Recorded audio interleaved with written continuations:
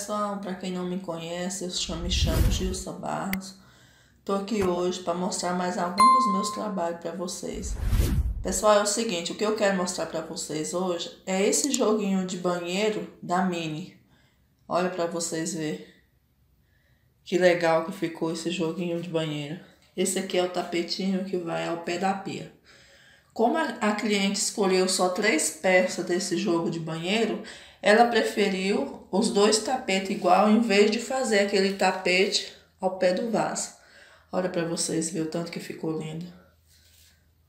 Olha, pessoal, que delicadeza desse laço. Eu tô apaixonada por esse joguinho. Aí ela preferiu só as três peças mesmo. Ela não quis a, a peça da caixa acoplada. Olha aqui para vocês verem. Esse aqui é a tampa do vaso.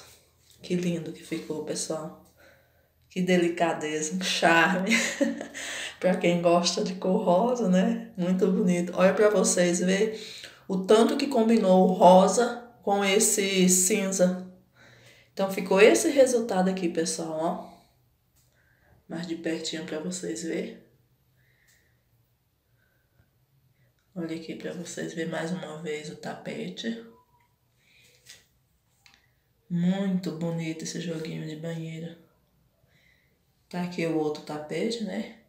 Olha para vocês verem, pessoal, esse bico. O tanto que ficou, caiu bem nesse modelinho. Aqui, né? Então, pessoal, ficou esse resultado. Espero que vocês tenham gostado desse vídeo. Se vocês gostou do resultado, mostrar mais assim para vocês verem.